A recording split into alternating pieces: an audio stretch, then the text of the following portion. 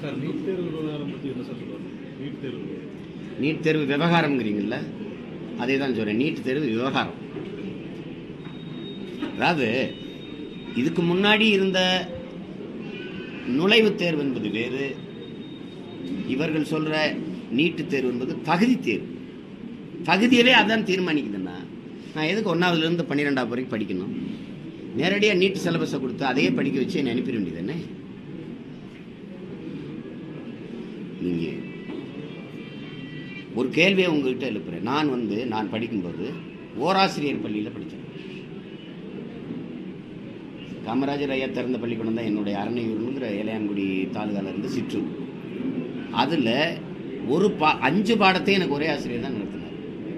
ஆனால் நகர்ப்புறத்தில் ஆசிரியர் பணி நியமனத்தில் A grade B grade C கிரேடுங்கிறது முதல் தரம் ரெண்டாம் தரம் மூன்றாம் தரம்.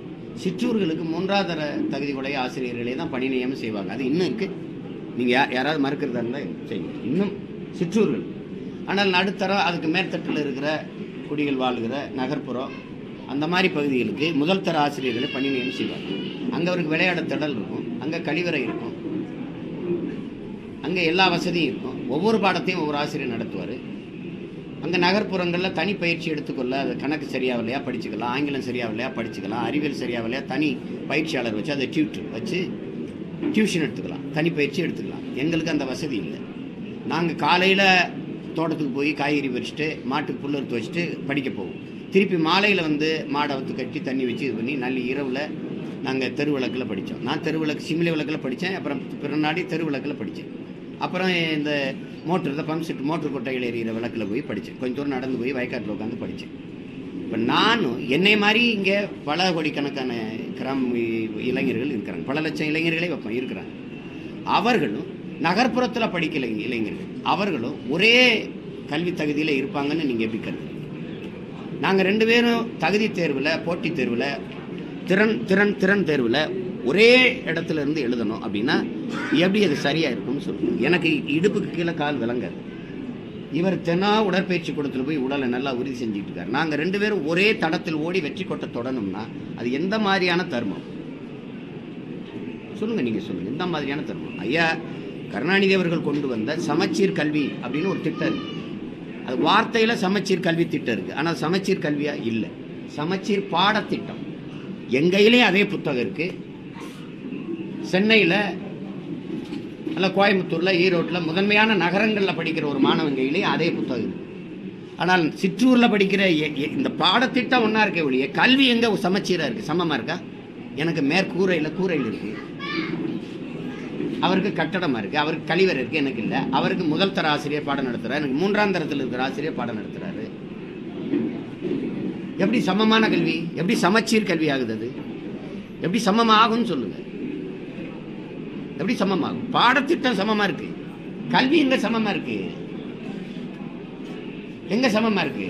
சமமா இருந்தா அரசு பள்ளியில ஏன் மூடிட்டு வர்றீங்க? அரசு பள்ளியில ஏன் மூடுறீங்க? கேட்டா மாணவர்களே இங்க வர்றதில்லைன்றீங்க. ஏன் மாணவர்களை வர வைக்க முடியல? ஏன் முடியல? சரி. இப்ப நீட்டு அதுக்கு தடை உச்சநீதிமன்றம் சொல்லியிருக்கு.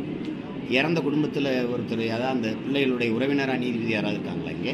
இல்லை அவங்க பிள்ளைகள்லாம் இப்படி ஏதாவது பாதிக்கப்பட்டிருக்கா? உண்மையிலே நீட்டுங்கிறது என்னென்னு அவங்க விளக்கி பேசுவாங்களா? நீதியரசர்கள் தடைன்னு போடட்டும் நீட்டுக்கு. ஆனால் இந்த நீட்டினால் வர நன்மைகளை விளக்கி ஒரு ஒரு அறிக்கை ஒரு தீர்ப்பு தர முடியுமா? ஒரு த ஒரு ஒரு பக்கத்துக்கு. நீட்டால் இவ்வளோ நன்மை இருக்குது அப்படி ஒரு ஒரு ஏதாவது ஒரு பக்கத்துக்கு தர முடியுமா? நீதிபதிகள்ங்கிறது வழக்கு போட்டவர்கள் அதுக்காக வாதிட்டவர்கள் எடுத்து வைக்கிற தர்க்கத்தை வச்சு தான் அவங்க தீர்ப்பு சொல்வார்களே வெளியே அதனால் வர நன்மை தின்மைகளை பற்றி அவர்களுக்கு கவலை கிடையாது. திரும்ப திரும்ப அது நீ எப்படி செஞ்சிருவ? இது மாநில அரசு ஏன் உரிமை? நீ யார் தலையிடுறது? நீங்கள் ஒரு சட்டம் போடுறீங்க நீட்டு. நான் ஒரு சட்டம் போடுறேன் ஏழு பேரை விடுதலை செய்யிட்டு நான் ஒரு சட்டம் போட்டு நீட்டுக்கு எதிராக நான் அனுப்புகிறேன் மாநில அரசின் சட்டத்தை மதிக்க முடியாதுன்னு சொன்னால் நீ போடுற சட்டத்தை நான் என்ன மையத்துக்கு மதிக்கணும்? யார் நீ முதல்ல? ஏண்டா எட்டு கோடி தமிழ் மக்கள் எட்டு கோடி மக்களால் பிரதிநிதித்துவப்பட்ட ஒரு அரசு போட்டு கொடுக்குற சட்டத்தை நீ மதிக்க மாட்ட அப்படின்னா நீ போடுற சட்டத்தை நான் எதுக்கு மதிக்கணும்? எதுக்கு மதிக்கணும்? அப்படின்னு நாங்கள் எழுதி கொடுத்துருக்கோமா? அடிமை சாசனம். அரசியல் சாசனத்துக்கு கட்டுப்பட்டு வேலை செய்கிறோம் அடிமை சாசனம்னு எழுதி கொடுத்துருக்கோமா இல்லை? நீங்க பேச பேசுற மாதிரி இந்த அதிமுக திமுக ஒரு தடவை கூட இந்த மாதிரி பேச- பேசாதுங்க. பேசாது. எத்தனை எத்தனை எத்தனை எத்தனை எத்தனை தலைவர்கள் வீட்டில் ரைடு போடுற? என் வீட்டை போடு என்கிட்ட ஒன்றும் இல்லை. ஹிட்லர் சொல்கிறான்ல இலக்க ஒன்றுமில்லாதவன்கிட்ட சவால் விடாதேங்கிறான். என்கிட்ட ஒன்றும் இல்லை. நீ சவால் விடுறதுல செல்ல முடியும் நான் பயப்பட மாட்டேங்கிறேன். போய அப்படிங்கிற இவன் பல லட்சம் கோடியில் பதுக்கியும் ஒதுக்கி வச்சு பூரா வந்து ஊழல் லஞ்சத்தில் ஊறி தலைத்து கிடக்கிறனால நேர்மை உண்மை இருக்கிறனால இல்லாதனால பயந்துக்கிட்டு கிடக்குறீங்க. மம்தா பானர்ஜியும் பினராயி விஜயன் இப்படி தான் மத்திய அரசுக்கு பயந்துட்டு வேலை செய்கிறாங்களா ஏன் அந்த அம்மா மட்டும் எடுத்து பேச முடியுது சொல்லுங்கள் நீ ஏன் எடுத்து பேச முடியுது ஒன்றும் செய்ய முடியாது நீ